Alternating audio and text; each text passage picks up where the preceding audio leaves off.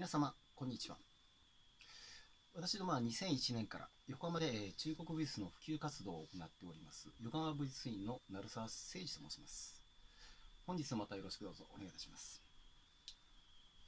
ね、私たちはですね、中国の上海と、えー、提携しております。えー、学校は福旦大学武術協会です。えー、1985年からの提携をしますから、もう36年間、今年は2021年です。交流があり、上海の武術会と共に活動しております。そして、え中国での学んできた専門協定をこうした YouTube 動画で講座として配信しております。これからの日本もですね、やはり中国武術活動がもっと盛んになって元気な方が増える、そういうことを願っております。さて今日はですね、えー、中国武術の教学法についてです。ですね、この共学というのは、標準化、規範化ですね。そして系統化です。標準化、しっかりとしたスタンダードモデル。そして規範化、しっかりとしたお手本ですね。そして、えー、系統化、普及活動、中国美術産業の発展、そういったものに関係してまいります。今日の資料としてはですね、えー法科部先生ですね。北京体育大学の先生です。中国武術実用大全。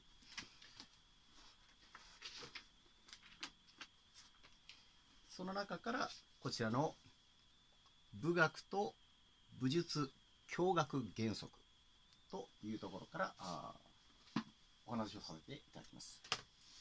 そして、えー、私のちょうど師である、えー、上海福旦大学武術協会ですね。花妙理先生ですね、が、こうした協定を作って、え書籍として出しております。これをお手本として、私たちの横浜武術院の普及活動は行っております。では、教学法に参りましょう。これはですね、大事なのは、理論と技術。これが正確さであるということが間違いなく大事です。つまり理論と技術がしっかりしている。そして教学法がある。それがあると、よく日本にありがちなのはですね、焦らない、慌てない、煽らない。ね、焦らない、慌てない、煽らない。で、焦ったり慌ててしまうと、あたふたして、余計、えー、効率が悪くなります。ですから、落ち着いて、確実に、効率よく、要領よく、成果を上げる。そこが私たちの中では大事にしているところでもあります。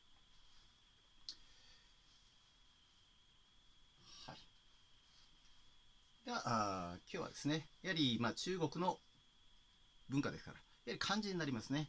えー、漢字というのはなかなかあ一文字一文字重みがあります。はい。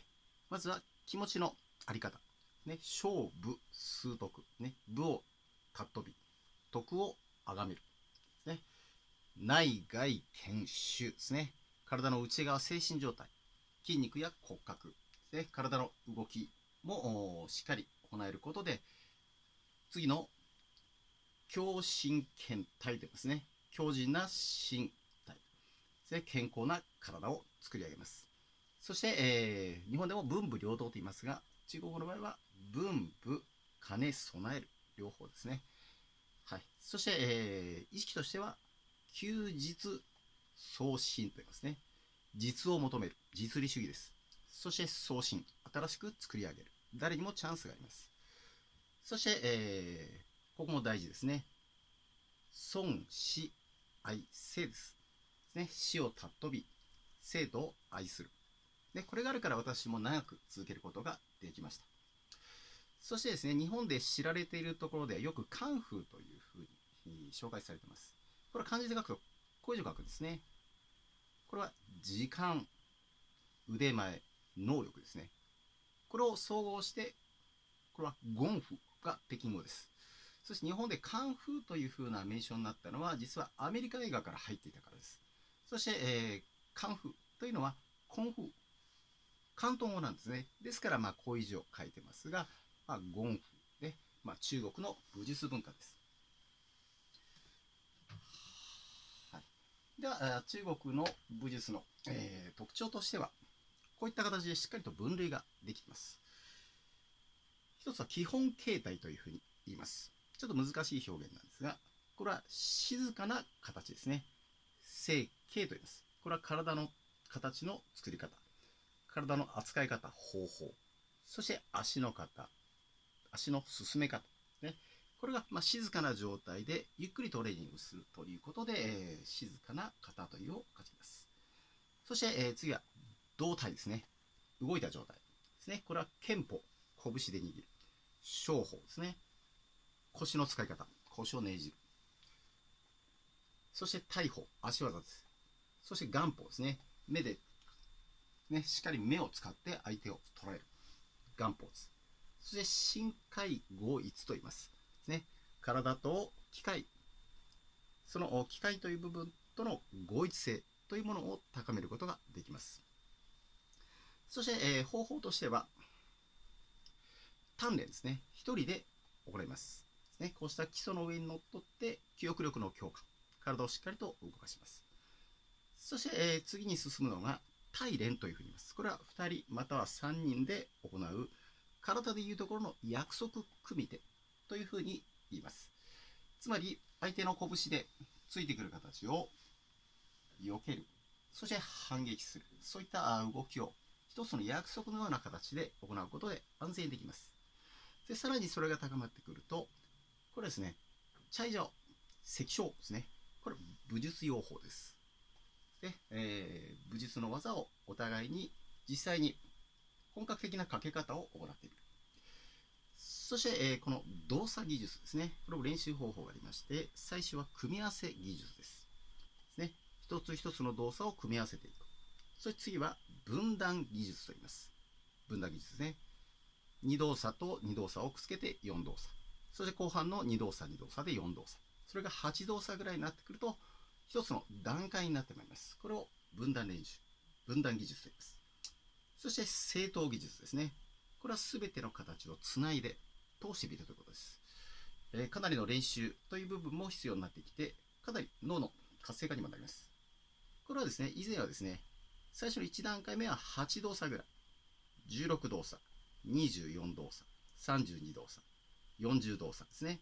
これは大体日本でいう段位制でも、初段、2段、3段、4段、5段、総合が6段と言います。はい。そういった形の中で中国物質動作っていうのをしっかりですね、驚愕、標準化、規範化、系統化を行うことで、さらに広めるということがしやすくなってまいります。そして最後にですね、中国物質の特徴というのをですね、えー、これお話しします。これは攻防動作です。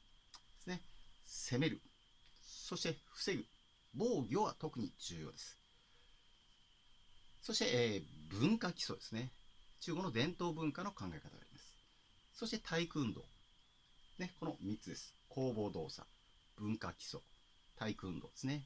そしてそれらを代表するものというのは、法権令というのがあります。まあ、こうした形ですね。えー、ご覧になったこともあると思います。あれには意味があります。はい。法権令。拳を包む例です。そして右の拳というのは武力を表します。これは努力、鍛錬。それがすなわち武力。これは文化基礎の上にもある武力です。これが右の拳の意味です。それ左小。手のひらですね。手のひらというのは忍耐ですね。守衛、守りきる。